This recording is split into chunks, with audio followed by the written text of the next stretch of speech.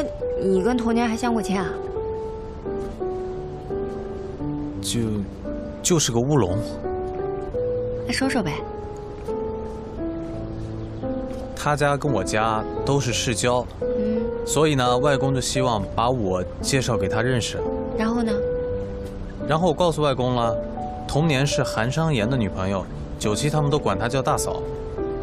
嗨，你是不是总是能给老韩吃瘪啊？所以嘛，你这个纯良严肃的外表下，的确有一颗蔫坏的心。还好吧。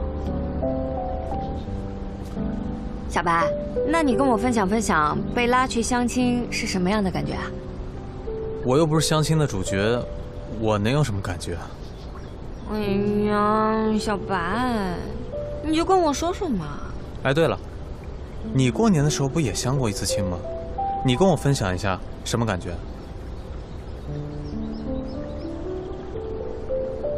我过年，哎呀，我我那个相亲跟你那个相亲不一样。不一样。不一样，真的不一样，真的不一样。怎么不一样了？怎么就不一样了？哪儿不一样了？哎，就是不一样，啊！你告诉我，快点告诉我，告诉我哪儿不一样？一样，哪儿不一样？啊！我错了，我错了，错了，我求饶。一不一样？一样。那你告诉我呀，一样。快点！年轻可真好啊。羡慕。嗯。来，上来。不好吧？我都老大不小的了。上来。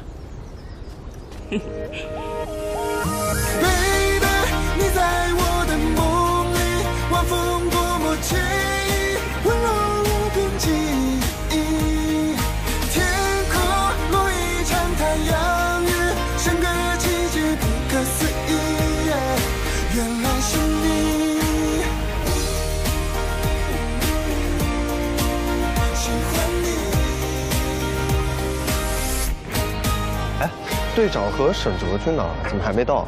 沈哲去打电话了。至于队长嘛，你就别管。